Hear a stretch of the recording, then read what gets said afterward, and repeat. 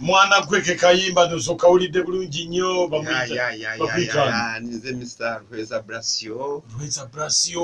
Waawo oli utya rweza brasio? Eh, ndi bulungi nnyo. Oli bulungi? Yesebo bitambula bitya? Ebintu bitambula bulungi. Eh, era mpulira nga nina essanyu nyingi okutuuka wano kaakati era nendabira ddala omusajja omulungi gwentula bulijjo gwendudde nga negomba okulabako Ngenze ogonja ondabye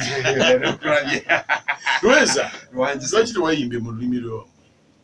Ate mwana watu mbwirina bungi. Mu lulimi lweri luli. Eh, lwaki tewandeetendeyo okukamu nkakuwe nakati Eh? nkakuwe nakati katambula bulungi. Sooka ombuulire. Ovaawo Ah, ah, ekitaagulo kino kino kino kino. Eh? mbulina bungi. Ekito bw'okola mulimu ki? Nze omulimu gwange gwennyini gwenkola ndi mulimi? Oli mulimi. Yes. Obeerawo mbeeraawo mako. Makoye mako busiro. Busiro. Eh, mako kiri mu busiro kiri mu busiro. Olima ki nima nyaanya okay ye kigwe mulimu gusinga okundeeteramu kasente mati mpa ku sente. Olwange oline era mukunja gwe owenaaviira wano ngenda kuba nga wadde ku sente. Okakasa! Yes. Omuziki ogumazeemu bbanga ki omuziki guno Mm.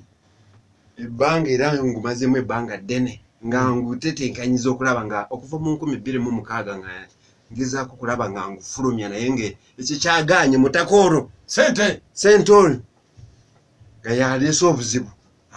Naye ngena mufunza mufunza funza bwenti. Abaana olina? Ninayo.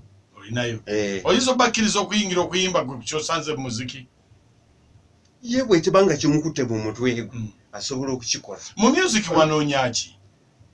Ah, music mulimu wanoonya mulimu wanoonya sente wanoonya ki? Music saanoonya mulimu.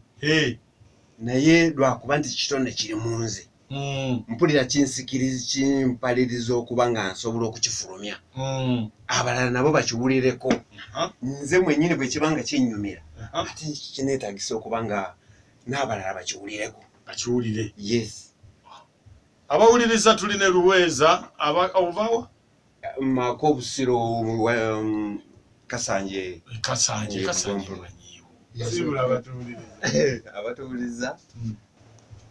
mbasibula nga mbagamba nti nze lukweza brasio Mm, naye nsaba obuyambi bwammwe. Mm, era waba nga wagyali eyo. Ojja kunkubirako ku- namba z'essimu ezo zenku zenkusomedde mm. ate n'ekirala nsaba ntumireyo abantu bange nga babiri. Ate zireŋŋaana Eh, njagala ntu kutumirako mwana muwala sharon gaalo gwe natuuma sharon gaalo ali awo gwe tuli naye ku kyalo kya n'abatuuze bonna ab'emako naye era seerabira kubagamba nti nze nga bwe neesimbyewo awamu era nsaba abatuuze b'emako bonna mumpe obuwagizi nsobole okumansula abantu abo nange mbakiikirire Kale. kubawombolola